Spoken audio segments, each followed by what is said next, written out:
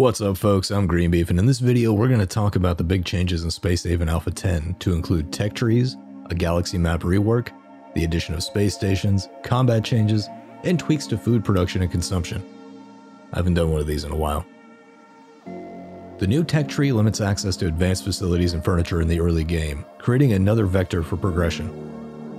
Let's look at this new tech tree by clicking this beaker button on the top left.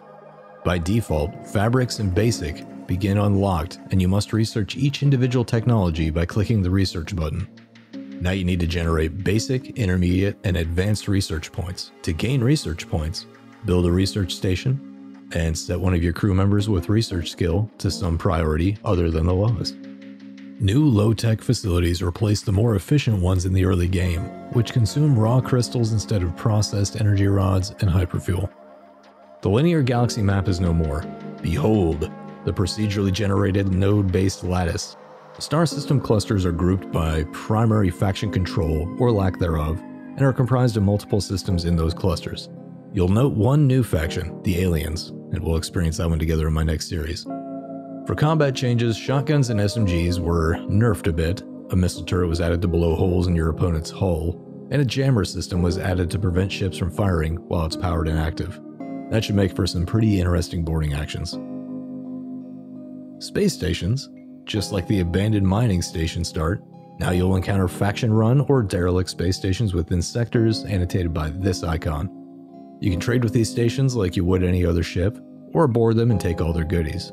However, don't think you can just fire at it easily, as they tend to have an active jammer. On friendly stations, you have a chance to get construction services or even recruit crew members for money. Food has received quite the overhaul. Crew members now need a balanced diet based on protein, fat, and carbohydrates, and you get to set the composition of their prepared meals in the kitchen facility. Also, algae growers, which run off power and biomatter, provide a low-grade food source that keep your crew from croaking. To get a quick start in Alpha 10, you can follow the tooltips, but here's what you need to get out of the first sector.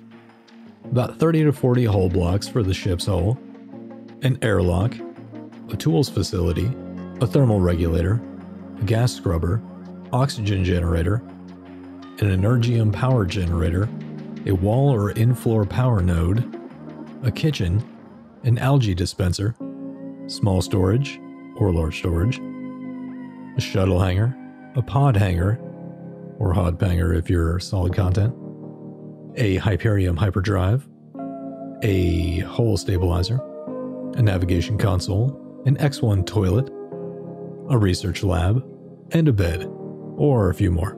In total, you'll need 7 hull blocks for facilities, plus the 30 to 40 hull blocks for your ship's construction, 31 infra blocks for facilities, and 11 more infra blocks to make the 535 tools you'll need, 14 tech blocks, 4 energy blocks, and 5 soft blocks. That's about it.